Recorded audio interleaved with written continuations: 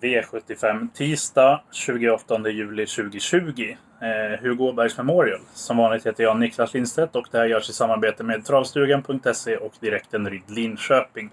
Andelar finns eh, i den här analysen nedanför i text och även om man tittar på Youtube så finns det även där i kommentarerna. Eh, Jägersro, spetsbana. De flesta segrarna vinns från ledningen. Eh, ryggledaren, dödens eller andra par utvändigt. Så vi försöker hitta segrare i främre träffen överlag den här omgången. Eh, ska vi säga något om omgången så är det väldigt fina lopp. Jättefina årgångslopp. Eh, bra långlopp och självklart eh, russinet i kakan Hugo, Hugo Åberg som kommer i avdelning 6. Men vi börjar eh, i rätt ordning. Avdelning 1 har vi eh, fyraåringar. Eh, jättefint lopp.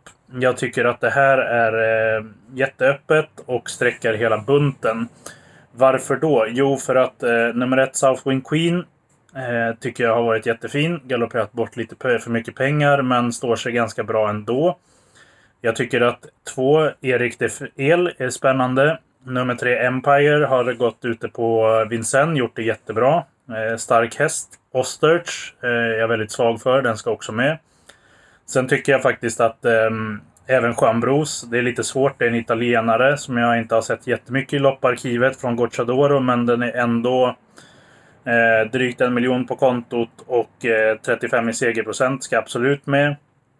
6 upset face självklart och vi plockar även med Forecast US. Men jag tror att det är väl den hästen kanske som har lägst segerchans i loppet. Eh, känns inte jättehet. Så ska man plocka bort någon i första hand så är det den. Avdelning 2 tycker jag är tvärtom. Det är eh, treåringslopp och eh, här kommer omgångens lås. Jag eh, plockar med nummer 2 Örnas Prins och nummer 4 Bolero Gar. Som jag läser loppet så kommer Önas Prins sitta i tät och Bolero Gar parkera utvändigt. Och sen är det bara vem av dem som har bäst power som, eh, som vinner helt enkelt. Jag tror inte att övriga har så jättemycket med det här att göra. Ska man eh, plocka med fler hästar så tar man med nummer tre Philosopher. Nummer ett eh, Köjt F. Boko. Kanske Gocciadoros hästar nummer fem och tio. Men jag låser det här loppet som sagt på 2 och 4.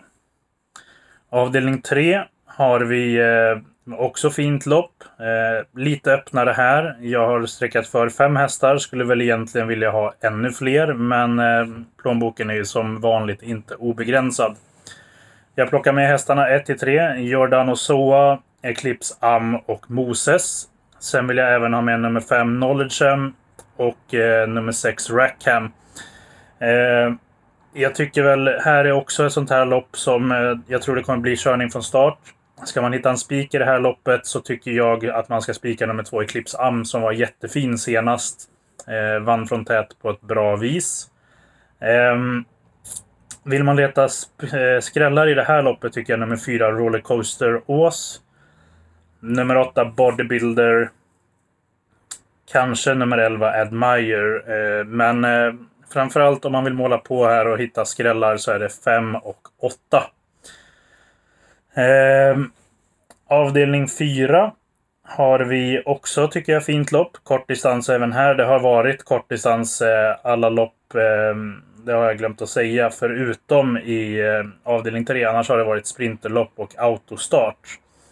Här är också som, som sagt ett sprinterlopp och ehm, nummer ett och tänkbar chansspik på det här systemet så spikar inte jag. Det kommer jag göra på något annat system. Nummer ett Zlatan Knick som är otroligt snabb ut, gillar Jägersro.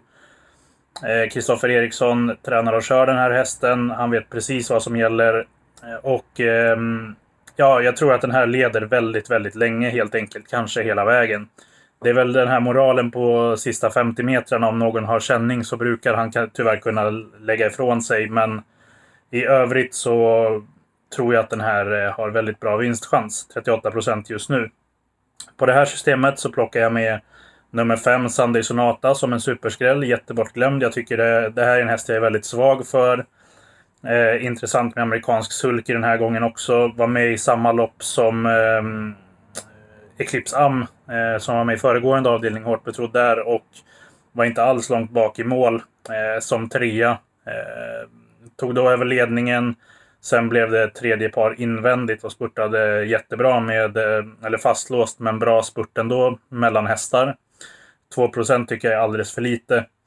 Sen är det då den här 9 Zeppelin Q-bar som har spår 9. Gocciadoros häst. Den har ju gått jättebra tidigare. Nu har ju den haft aktionsproblem när den har varit i Sverige och eh, ja, väldigt svår att räkna på. Men segerprocenten på 73 är ju såklart respektingivande och står dessutom bra inne på pengarna i det här loppet. Eh, så jag låser på 1, 5, 9 här.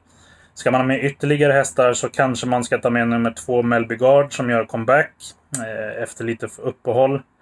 Eh, eventuellt nummer 7 Quite Quality och 12 Safiro Rock. Men jag tycker att man kommer ganska långt på de här tre som jag har nämnt om man inte spikar eh, nummer 1 Zlatan Knick. Avdelning 5 här har vi också, eh, nej här är medeldistans ja. Eh, intressant lopp. Jag tycker också att det ganska skiljer sig en del här mellan hästarna. Det är lite skiktat. Eh, stor favorit i nummer tre, Ivor Di Quattro. Eh, jag tycker att det är första hästen och det, till lägre procent skulle det kunna vara ett tänkbart spikförslag. Men eh, jag tycker att Berg har kört den här lite halvdåligt senaste gångerna. Han har kört andra hästar betydligt bättre och ehm, jag vill helt enkelt gardera på grund av att jag tycker att det är en för stor favorit i 61% just nu. Eh, vilka eh, garderar jag då med? Jo, jag garderar med nummer två Safir Weiss As och nummer fyra Asimut. Framförallt Asimut vill jag varna för som eh, är en riktig tuffing. Sprungit eh, på Vincennes, München, Berlin, Ungern. Så den här klarar eh, väldigt många olika banor mött bra hästar och segerprocent på nästan 70 inger respekt. Jag tycker att det här är eh, en väldigt spännande häst som är svår att sätta in i loppet men kan absolut räcka hela vägen. Står dessutom jättebra in på pengarna, 4000 ifrån gränsen. Ehm, ska man ha med ytterligare hästar här så tycker jag man kan ta med nummer 5 Ribaud. Ehm, Kanske nummer 10 Ferrari River kan vara en sån här miljonskräll där man faktiskt eh, tar barfota runt om och amerikansk sulky nu första gången på otroligt länge. Och nummer 11 Lord Flax, som eh, blev ett skrik på senast. Eh, gjorde det ganska bra men eh, är ju säkert bättre med lopp i kroppen. Men jag tror man kommer ganska långt på 2, 3 och 4. Avdelning 6 har vi då eh, huvudnumret Hugo Åbergs Memorial 1609 meter här. Så det är ännu kortare anlopp till kurvan så det är lättare att hålla upp ledningen här. Eh, jag tror dock inte att nummer 1 Cockstyle gör det. Eh, jag tror det blir en invändig resa även om det inte är meningen. Men det är en väldigt bra sprinter. Troligtvis, eller ja, om nu Propulsion blir diskad från Elitloppet så är det här vinnaren av årets Elitlopp. Får man inte glömma bort. Summa summarum då så tycker jag faktiskt att eh, man ska ta antingen så kan man låsa loppet på nummer 4 Double Exposure, 9 Vitruvio, 10 Ecuride och kanske 4, eh, 2 Taekwondo. Um, jag tycker de höjer sig lite grann. De flesta har bra eh, spår, utgångsläge, men jag tycker att eh, framförallt Ecuride som är obesegrad är såklart den som är mest intressant att se hur den står sig. Det är första gången mot eliten. Um, men jag väljer att plocka med samtliga hästar här eftersom att det skulle kunna bli en otrolig fartrusning. Eh, Vitruvio startsnabb, Double Exposure startsnabb, Milligan School startsnabb, Taekwondo startsnabb. Racing Mange och har ju spetsat från spår 7 i Elitlopp, eller i försök till eh, den här sista helgen i maj eh, i eh, Gävle innan Elitloppet och fick då biljett. Kan också skicka Campo Bahia, måste väl också trampa. Sarem Fas kan inte bara backa heller och hoppas på chans. Så det, det blir nog, jag, jag, tror att det kommer bli eh, positionskrig och eh, det kommer gasas otroligt första 500 metrarna. Det kan även bli betydligt längre. Och därav de här hästarna som eh, inte är speciellt hårt sträckade. Typ nummer 6 Racing Mange, 7 Campo Bahia, Saren Fas och Bledugers kan bli inbjudna i matchen och även Ecuride om det blir väldigt körning längst fram. Eh, det är bara att se till exempel i Oslo sist där när Bledegers och Victrovio körde. Och Victrovio varvade på 1.07 eh, och Bledegers trampade runt sista biten. Så antingen så går man kort ska man ha en spik här så tycker jag man kan gå på eh, nummer 4 double exposure. Ska man ha, gå kort så är det som sagt 2, 4, 5, 10. Men jag rekommenderar eh, faktiskt en helgardering i, i det här loppet. För jag tycker att det är så pass svårt att räkna på positionerna för att det kan bli ställningskrig. Avdelning 7 kommer omgångens bästa spik, eh, tycker jag just nu. I alla fall på det här systemet så blir det en ensam spik och det är nummer ett Ono X Due Gnafa med Björn Goop. Eh, den här imponerade våldsamt på mig sist på V75 när den vann eh, medeldistanslopp på 11,7 helt okörd. Eh, I klass 1. Och eh, jag tror att Björn Goop han gör inga, inget misstag här. Han eh, vänder bort dem i starten. Därefter kör han i ledningen hela vägen. Ställer klockan på 12,5 och då blir det svettigt. 12,5-13 och då blir det svettigt för samtliga att över, överhuvudtaget komma in i matchen. Så jag tycker det här är en väldigt bra spik i nuläget. Eh, spelade ungefär lika hårt som Ivory de Quattro, men då eh, tycker jag att det här är en bättre vinstchans. Ska man gardera, som jag kommer göra på ett par system, så är det första utmanare eh, nummer 6 Etensin, eh, Robin Backer. Den här slog, eh, har slagit Onyx Duegnafa i Norge.